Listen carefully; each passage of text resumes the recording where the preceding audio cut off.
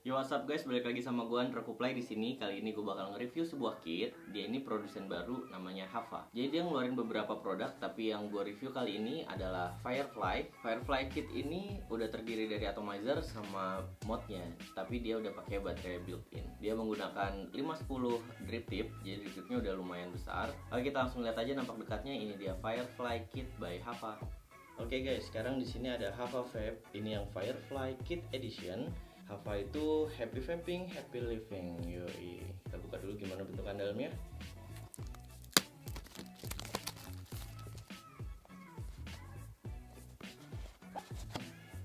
Kita buka.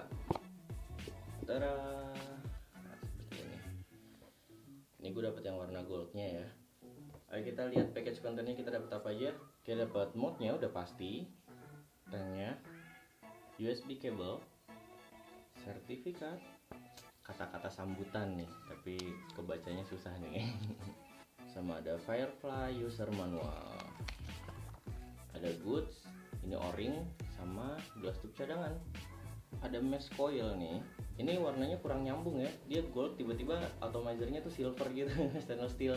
Jadi kayak kurang nyambung gitu warnanya. Tanknya ini dia pakai paralel coil single parallel coil yang bawahnya ini. Tapi ada spare-nya. Spare-nya itu yang mesh coil yang tadi gue tunjukin.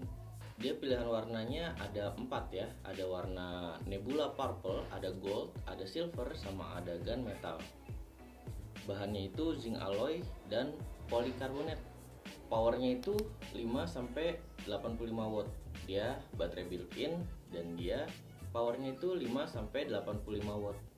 Kita lihat aja nih. Dia ini pakai baterai built-in ya. Dia baterainya udah baterai tanam gitu. Kapasitas penampungan baterainya itu 2000 mAh. Jadi ya lumayan lah ya buat mod segede kayak gini. Kita lihat bagian dalamnya. Ini gue udah pakai yang hitam. Jadi kalau misalnya kita teriakin dia bakal ada muncul cahaya-cahayanya gitu, cahaya ilahi Allah. Wow. Wah. Wah. Wah kelihatan lah ya. Wah tuh muncul-muncul cahaya gitu. Power up sama power down itu agak kebalik sama yang lainnya. Dia biasanya yang kiri buat down yang kanan buat up. Tapi ini kebalik. Yang kiri buat up yang kanan buat down. Dan ada satu tombol lagi di, di tengah sini itu buat masuk ke menu. Menu buat ganti cahayanya doang tapi kayak misalnya gini gue kasih tahu ya. Pencet agak lama sekitar 2 detik atau 3 detik dia ada working kalau working itu uh, maunya kayak gimana? Nih dia ada turn off ada flash sama breathe. Jadi kalau turn off itu ya mati. Kalau misalnya lu firing dia nggak ada lampunya. Kalau flash dia bakalan kayak nyala gitu. Terus kalau breathe dia nyalanya pelan terus kekencang. Gue kasih tau ya nih misalnya flash. Mau pilihan warnanya ada banyak. Ada green. Ini pilihan warnanya ada banyaknya. Ada blue green red cyan eh cyan dia loh ada violet dan segala macam. Gue jadiin satu watt dulu biar nggak terlalu berasa. Eh nggak bisa satu watt ya. Cuma bisa sampai 5 watt doang. Oke nih. Kalau pencet uh, firing ya. Alah lah.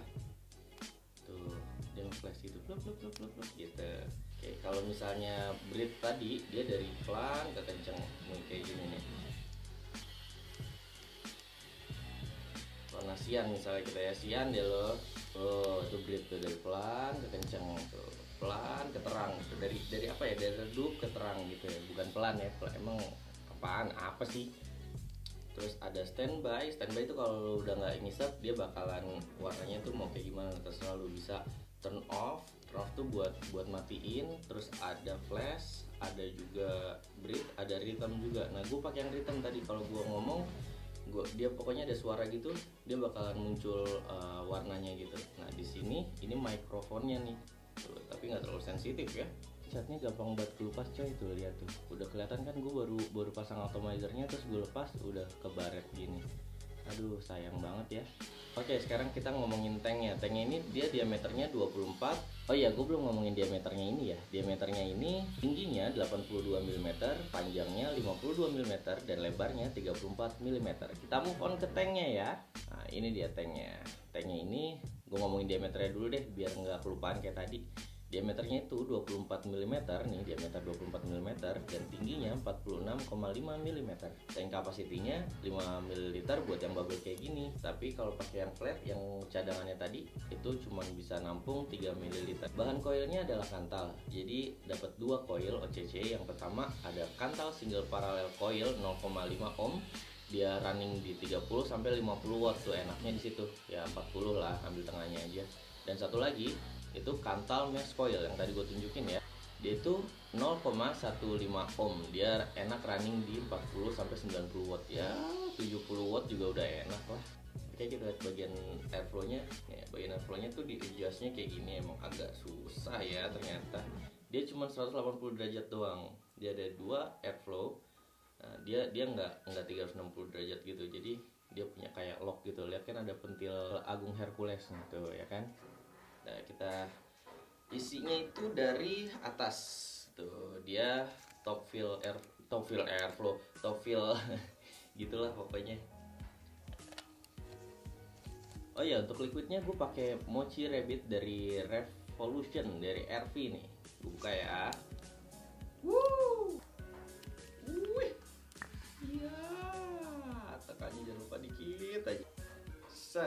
Lihat gimana produksi cloudnya kita tunggu dulu ya sebentar ya. Biasa OCC coil tuh harus ditunggu 3 menitan gitu. Terus habis itu kalian baru bisa ngeflow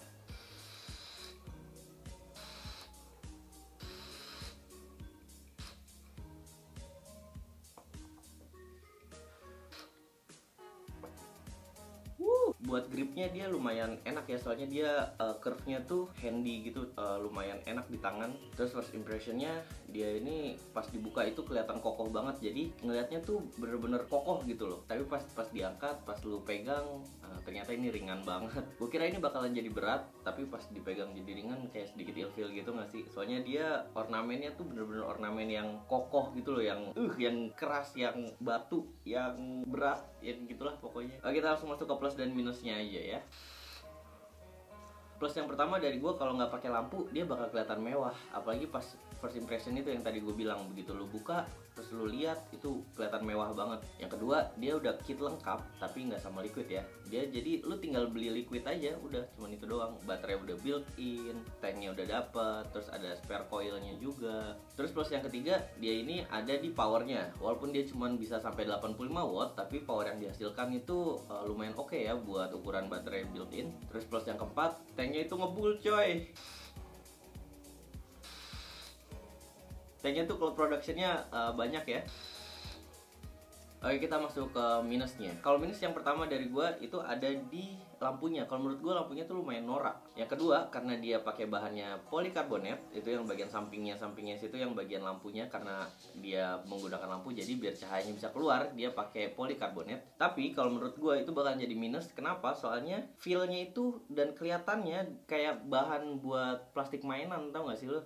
Yang ya pokoknya finishingnya kurang rapi lah menurut gue dan bahannya juga eh lumayan jelek sih kalau menurut gue cuman kalau zinc alloynya ya kayak zinc alloy pada umumnya ya dia bagus rapih. Uh, finishingnya juga bagus oke. Okay. minus yang ketiga ada di catnya. Kayak yang udah gue kasih tahu di nampak dekat catnya itu gampang banget ngelupas. Mungkin karena dia pakai polikarbonat jadi catnya itu nggak menyerap dengan sempurna dan menghasilkan ya itu tadi dia gampang banget ngelupas. Gue baru pakai nggak apa pakai sekali doang nih pakai atomizer sekali. Pas gue copot itu catnya udah ngelupas. Aduh sayang banget ya. Terus plus yang terakhir yang keempat nih ada di flavornya. Kalau menurut gue flavornya lumayan hancur. Cloud production emang banyak cuman flavor yang dihasilkan tuh nggak seenak coil OCC pada umumnya sih ya. Mungkin karena gue pakai paralel single coil jadi flavor yang dihasilkan tuh nggak terlalu enak. Cuman kalau pakai mesh coil gue yakin rasa yang dihasilkan atau flavor yang dihasilkan bakalan jauh lebih enak. Oke okay, rating dari 1 sampai 10 gue kasih nilai ini 7 sorry banget karena finishingnya kurang rapi sama tanknya Eh, nggak uh, terlalu enak ya hmm. Oke, sekian review singkat dari gue. Semoga video ini bermanfaat buat kalian. Jangan lupa thumbs up, share, komen, dan subscribe yang belum subscribe. Gue Andra Kuplai, keep vaping.